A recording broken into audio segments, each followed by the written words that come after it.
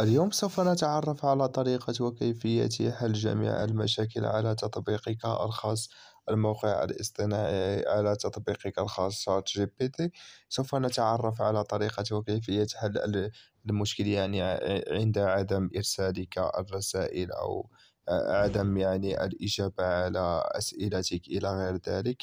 سوف نتعرف على هذه الطريقة من خلال أن تأتي إلى هذه العلامة في الأعلى تضغط عليها ثم تضغط على هذه العلامة أو الخروج من جوجل وبعدها سوف تقوم بالدخول وإعادة الدخول إلى تطبيق ChatGPT ثم بعدها سوف تقوم ب يعني حل مشكلتك على تطبيقك الخاص.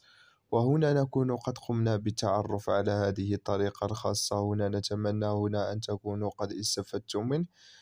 لا تنسوا هنا الاشتراك والضغط على زر لايك ونلتقي في فيديو آخر إن شاء الله.